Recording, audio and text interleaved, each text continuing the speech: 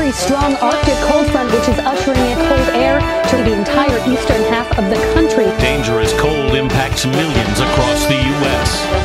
Frightening moments as a plane slides off an icy runway in Chicago. There was no visibility at all.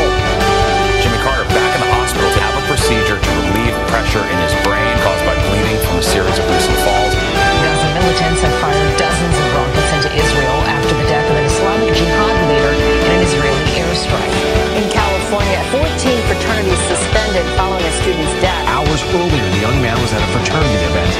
The U.S. Supreme Court will hear arguments about the Trump administration wanting to end DACA. Their decision could affect roughly 700,000 people. Can you imagine a life outside the U.S.?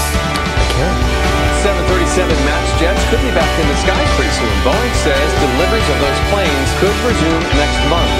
Mexico's top security official says arrests have been made for last week's cartel murders of nine American women and children. All that An off-duty police officer catches a lot of attention at an Arkansas club. The problem, he is naked. and all that matters. Billionaire Michael Bloomberg is considering a run for the White House. I have my reservations about the people running. Billionaires always do this. You know, it's not just him. Like, look at Bruce Wayne. thought Gotham's crime was out of control. Instead of complaining about the cops, he was like, Alfred, build me a car that shoots grenades. I'll do this myself. I'll just do it myself.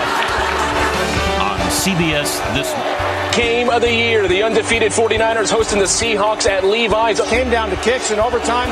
San Fran missed theirs. Seattle did not. And Seattle has done it in a classic. And San Francisco suffers their first loss